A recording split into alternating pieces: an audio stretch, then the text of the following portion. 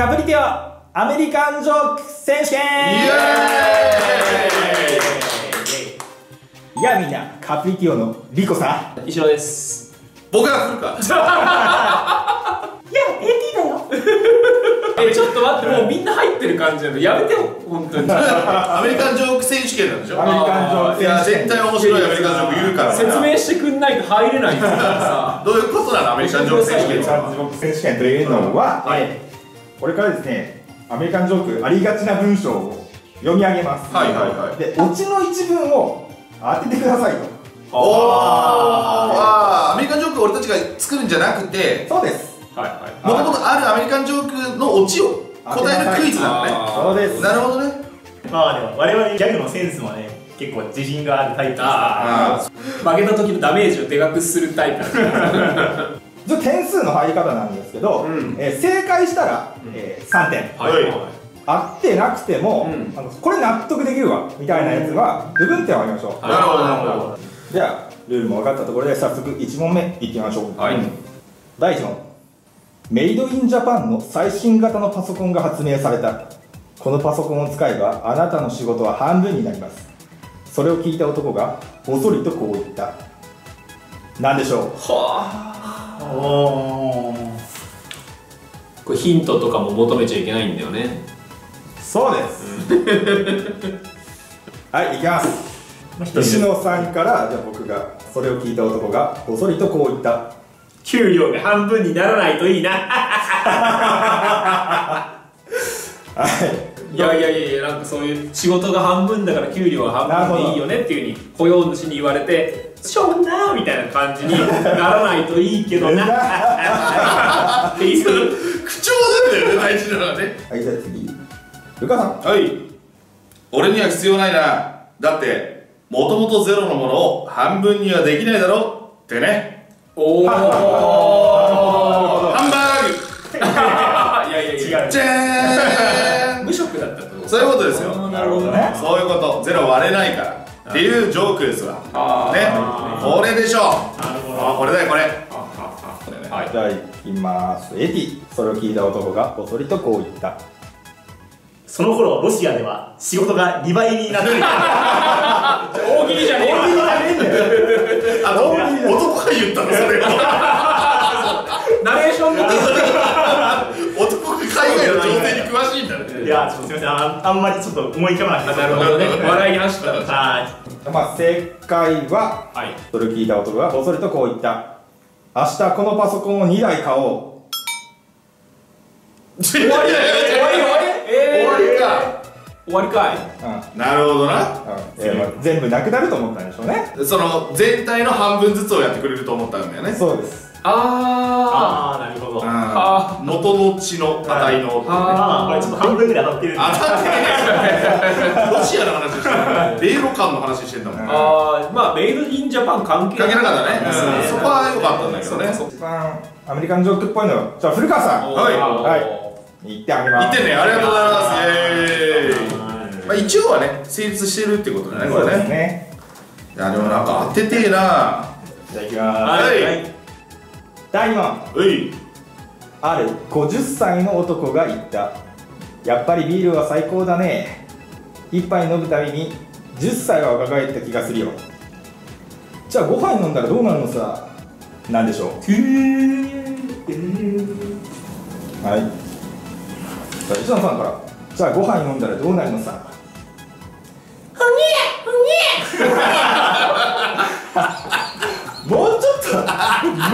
と言葉で攻めるかマジで。違う。それはせめてご飯飲んでから言う。セリフであって今言ったら頭おかしいマジで俺も結構50歳だ可能性あるかと思ったせめて「おやおや」って言う。のさじゃあそう。だねこの時点で「おや」じゃなくてねこれはさで僕はこれでいきますよもう。オッケーはい面白いはい川さんはいはいはいじゃあご飯飲んだらどうなるのさ？それはね生まれ変わった気分になるんですななるほど。うまいこと言いますね。まあ生き返った気持ちになるんですとかね。まあそういうようなイメージです僕は。なるほど、はい。はあはあはもう納得のって感じですね他の2人も。あおぎゃーの後だけに俺つまんねえみたいな感じしないけど全然面白いうまいからうまいこと言ってるかられがい面白さだからアメリカンジョークを。国民笑ってやってた。でしょいやまあまあそれはわかる。それはわかるよ。m 1優勝してないけど一緒面白かったなってなるやつでしょ。それはわかるけど俺真面目クイズ王だから。真面目に取り組んでるから。最後石田さんが後でラジオとか。褒めてくれるやつね。わかる。ちょっとそれ感じてるけどまあまあまあまあ正統派ですよこれが。じゃあ次エディ。じゃあ5杯飲んだらどうなるのさ？そりゃ無理だね。4杯目で捕まっちまうさ。ええどういうこと？どういうこと？10歳がビール飲む飲むじゃん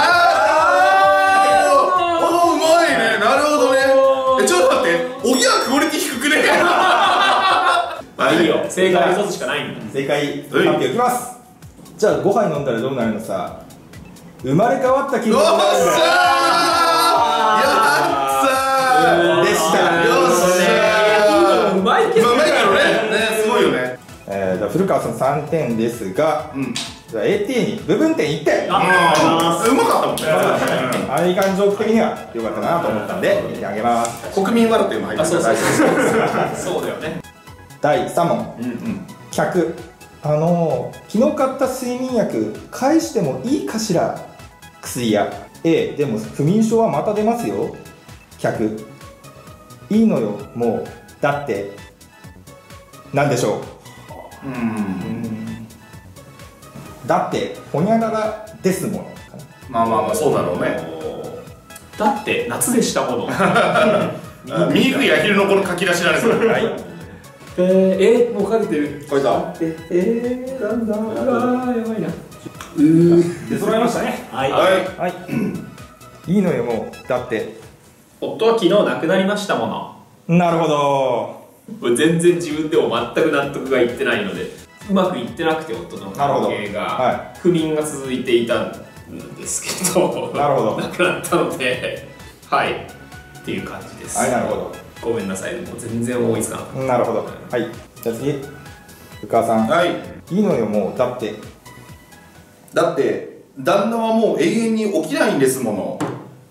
どういうことなんですかこれとこれはですねあの睡眠薬を使って夫を殺そうとしてたうん。奥さんが、あのもう殺せちゃって、うん。えー失敗した時のためとかにもうあったんだけど、もう二度と起きない死んでるからうまく殺人できたんで返しますわっていう意味のなるほ調どなるほど。た夫に飲ませるパターン。あそう夫に飲ませて寝てるところを殺すなりなんなりに使ったっていう意味合いでまあ起きないもかかってるよみたいな。なるほど。はい感じです。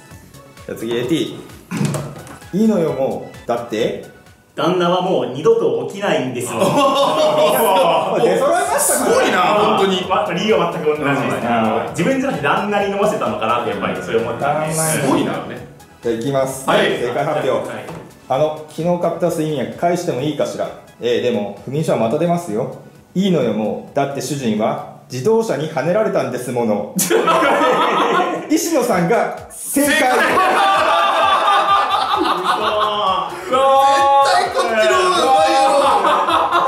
もうアメリカ。もろうと思ったけど結果盛らなくて済んだっていうのは、まあああそういうことか、殺さなくて済んだからってことか、はい、はい。我々にもちょっとねこれは欲しいな、ね意味としてはねうんどうしようかな両方1点で。すありがとうございます。い。きましょう。第4問。4位トッティの彼女があなたの頭の悪さをバカにした話が流行ってる本でも読んで教養を身につけましょう。手始めにシェイクスピアは読んだことあるでしょ？もちろん読んだことあるさ。ただなんでしょえトッティ？あのトッティ。トササッカー選手の。うトッティだ。フランチェスコ・トッティ。トッティをサッカー予想が特に関係するわけじゃない。ないで。すトッテーじゃない。ィのせいであんまり問題が正直入ってきてない。はい。おい。お待たせしました。はい。もちろん読んだことあるさただほら内容は全部忘れちまったぞ。悟空やないけ技が変換される。トッティいやなんかあんまりね浮かばなかったんですよ。だから読んだけど、まあ、内容は忘れちまったけどなっていうことででなんか笑い足したいなと思って悟空にルカさん。でもちろん読んだことあるさ。ただただシェイクスピアの2巻はまだ読んでないけどね。あなるほど。シェイクスピアは本のタイトルだと思ってて、はいはいはいはい。そのまああのーまあ2巻かは知らないんですけど、うん、その本はもう絶版だとかなんかそういうような。ああ、うん。知った顔すると。そうそう知ったかだった。じゃあ次、えー、エッティははい。もちろん読んだことあるさ。いシェイクスピア2が楽しみだよね。おお なるほど。そういう発想に行くんだ、知ったかさせちゃうんだ。同じだよね。その、署名ってことね。そう。シェイクスピアっていうタイトルかと思っちゃったっていう、うん。あるぞ俺でかい。もちろん読んだことあるさ。ただ作者名がちょっと思い出せないんだ。ああそうそうそう。いうことなんだそー。悔しい。あーくそそっちの方かもしれない理解してないっていうこと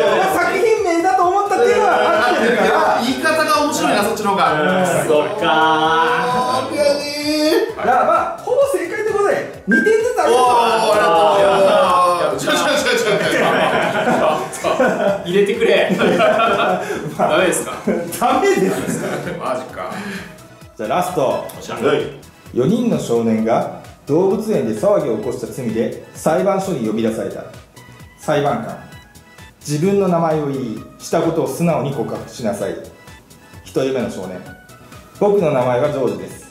僕は猿の檻にピーナッツを投げました。2人目。僕の名前はピーターです僕もジョージと一緒にピーナッツを投げました。3人目。僕の名前はポールです。僕も2人と一緒に猿の檻にピーナッツを投げました。4人目。何でしょう、はい。出揃いました。はい。はい。僕も2人と一緒に猿の檻にピーナッツを投げました。4人目どうぞ。4人目。キキキキキ。キサルゴサルアイザックです。投げられたピーナッツを食べました なるほどおぎゃー似たようなそうそうそう。ここで生きてくるのかと思ったけどでもまあなんかこういうことだと思うんじゃない？普通は。猿子に。4人の少年がっつってる最初まあまあそこはちょっと聞き気にはなるけどだけれど、そうそうそうそう。アメリカンジョークですからねやっぱりね。なるほど、はい。猿が来てた。悪くないセント多いよはい。じゃあ古川さん。僕も2人と一緒に猿の檻にピーナッツを投げました。4人目。どうぞ僕の名前はピーナッツです。3人に檻に投げられました。なるほど。ああなるほど。名前をわざわざ言う必要がないんだよね他のお家だと。名前が絶対に絡む自信があっ人て間を投げ込んだんだ。そういうこと。だから騒ぎが起きたと思ってる。名前を言うオチがこれしか思い浮かばなかった。なるほなるほど。エディ。はい。はい。僕も2人と一緒に猿の檻にピーナッツを投げました。4人目えー、アルカポレです。酒を密造しました関係ないやつ。そいつすげえ騒ぎ起こしてんじゃん。そいつそいつのせいだよ。前半3人は悪くない関係ない。から餌やってるだけだから。こいつだって絶対悪いの。なんで人後にされたあとんだ話してたけどアルカポレですじゃねえんだよ正直出てきてんだよないやーそれはちょっとあのいい答えが浮かばなかったな一緒にさばくなすごいなこのなんで4人だと思ったら3人と1人だと思うんだけどじゃあ正解は4人目。僕の名前はピーナッツです。でした。あ終わり。あ終わり。ねやということで古川さんだぜ3点獲得してはい。合計が10点。1点。優勝は古川さん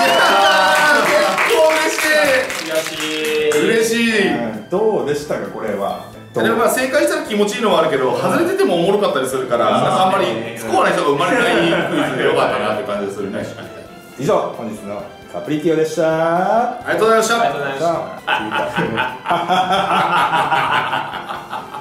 本日もご視聴ありがとうございました。高評価チャンネル登録よろしくお願いします